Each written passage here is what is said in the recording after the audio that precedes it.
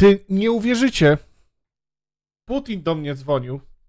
Mówi, że Nikola ma na popołudniu do roboty, że mam cię poinformować, żebyś przyszła dzisiaj, bo jest zmiana jakaś ciężka. No way.